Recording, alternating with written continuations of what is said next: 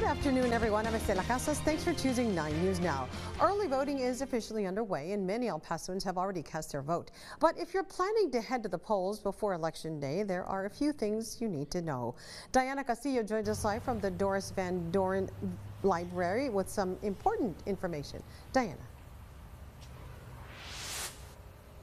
Well, Estela, this is one of 33 early voting locations across the county. And as you can see, there is a line right now. Now, I will say we were here a little bit earlier. I want to say like 1230, and it definitely looks busier now.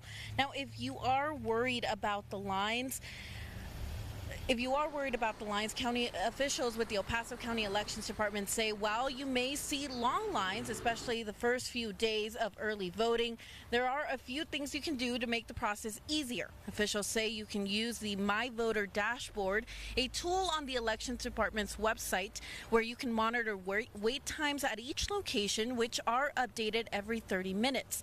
And if you're heading to the polls, bring your documents with you. We also want to remind voters that in Texas, you have to bring one of the seven acceptable forms of uh, photo ID in order to exercise your right to vote. And what are the most common forms of ID? A Texas driver's license, a Texas personal ID card, as well as a U.S. passport.